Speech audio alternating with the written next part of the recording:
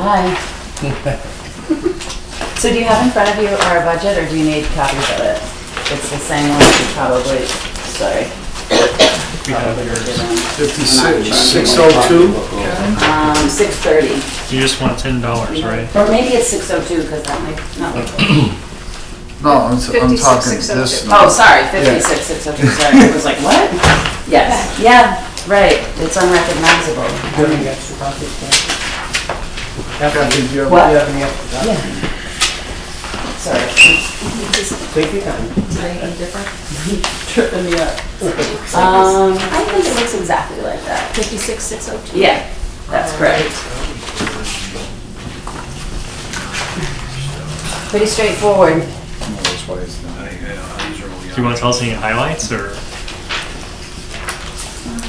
You want to tell us any highlights? I think the, uh, well, first of all, last year we were uh, able to get uh, and expend the $2,000 from town meeting warrant article on computer systems, and we appreciate the town supporting us in that, and we were able to bring our 10-year-old computers up to date. It's been useful in production of documents and the like. Um, The uh, one highlight that we still have on there outside of our normal expenses is the equipment purchase line item, which we felt, um, given the impending move, might be good to have uh, uh, some money in, uh, in case we need to buy some uh, you know, boxes or Who knows what? who knows what in the, in the transition. So uh, that's just a small safety gap for uh, short-term needs. So, Can I just ask a question about programming? Sure. Are there any changes to your programming contemplated in the budget? Um, Any, We weren't a, when I spoke to David, it's really unclear as to when we're moving, so it seems like a, talk about, talking about what? I will say that every single week this summer, from the day the kids get out of school until the week they le- go back, we are at the North Hadley Hall. And there's a program running every day. So we're just gonna you we're keep already- it there until We're already we, booking the fall, so Yeah. it's just one of these things that, uh, not to sound flippant, but we've been on this since 2011, so we're, we're waiting for a timeline Right. that when this really, when it actually starts to hit, then we'll make adjustments as necessary. But I don't want to spend an awful lot of time talking about what might happen. We know eventually it will happen, uh, but it's hard to figure out where we're gonna be. Right. You know, we need to know when it's gonna happen because we're not in a position to have that discussion. foolish to stop the programs when you've got enough of Right. kids involved in them, so. yeah, we already have people signing up for the summer, Yeah. so. So, so when are your good break times? I mean, if we were to ask you, I mean, there must be a transition between summer and fall. I mean, Mm-hmm. what are your good break times? That would be, you know, this is when this program starts. This is when I need to know where I'm going to be. Six days a week, we have Zumba in the building, and that's Actually, I've been threatened. day of the year. I've already been threatened over the Zumba issue. so- Yes, I'm sure. We But, have- uh, We have So- some programs that run all the time. We Yeah. have, we have, uh, obviously, we have some programs that are weighted up at North Hadley Hall, a little bit heavier with the school calendar. That's Um, right. Given the restrictions that we have to be able to operate programs out of that building, you know, it's made, made it a little bit more challenging to, to book the place, uh, Mm-hmm. the activities that we can do there. But, you know, uh, she said, uh, our Kathy and Melissa have done a good job getting what they can in there at this point. So when you, when's the downtime? I would have to say probably Thanksgiving. yeah, I mean, the reality is, is if you, you know, if you build it, they will come. So if Right. there's a proper planning, that's my job. You know, I can, I don't want to be, there, there are certain obviouses that we've talked about that we need.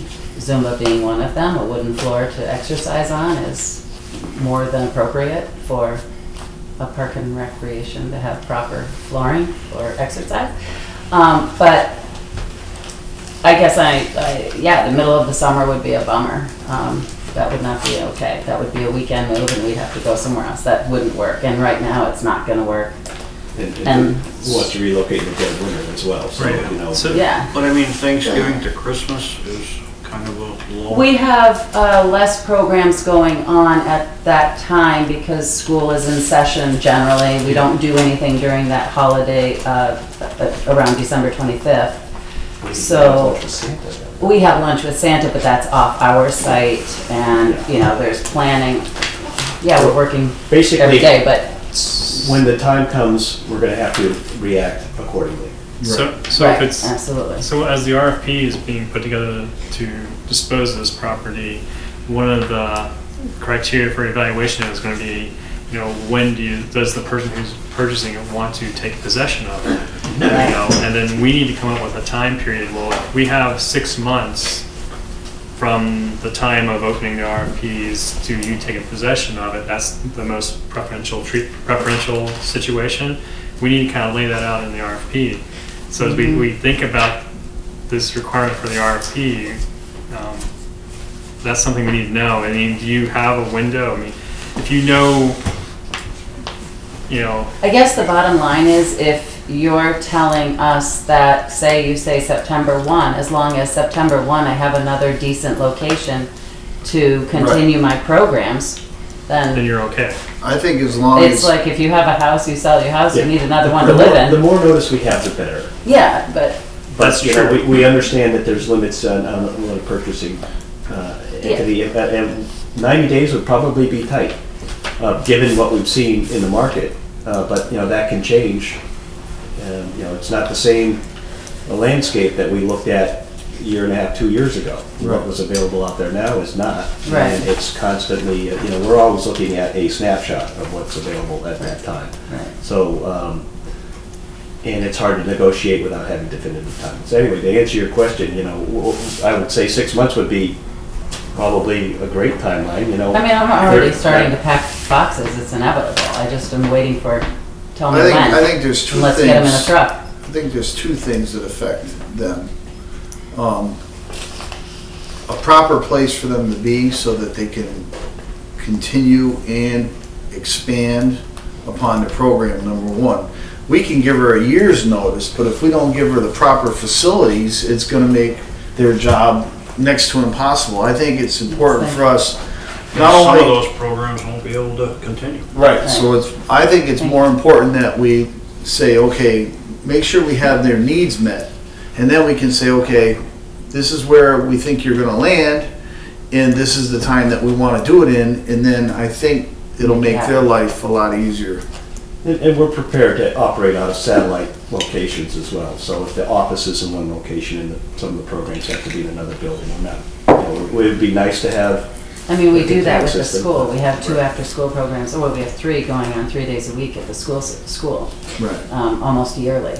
Right now, it's two days a week, um, so, until June.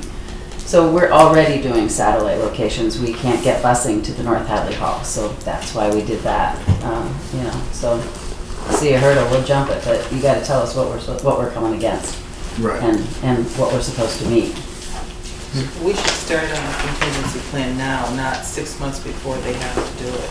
Well, some time period, some, some time periods of when they have breaks and when they have to make, a- make decisions is also good to know when you do But it's that. better to have, thinking about a place rather than trying to think about it at that time and not wait for the RFP or whatever. I mean, we should be thinking about, well, if it happens within the next six months, then what are we gonna do?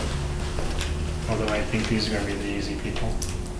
I agree that if you, um, I mean, thank you uh, for both of you. I mean, the reality is if we had a decent and proper place to go that would house our already existing and our future programming, then we can do that. And Right. every person, parent who's coming to a July program, change of location, Right.